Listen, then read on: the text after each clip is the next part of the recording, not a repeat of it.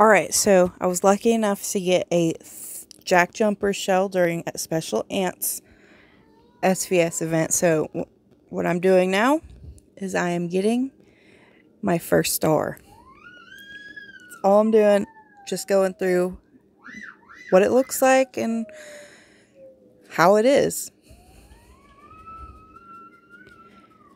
It's pretty pricey on the spores though.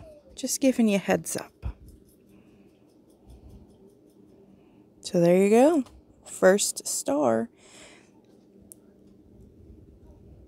Highly suggest if you have the extra experience to go ahead and max your experience that way when you star it up again. Because from what I've seen, you do not need another dupe. You just need generic orange. I believe you're only going to need dupes for your first skill star up and your sixth skill star up. Those are the only times I think you're going to need dupes. The rest are just like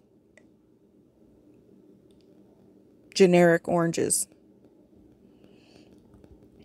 That's is just an estimation. Obviously, I don't have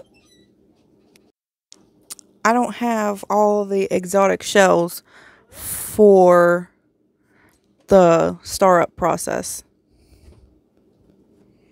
But yeah, as you can see, it's pretty it's pretty pricey on the spores.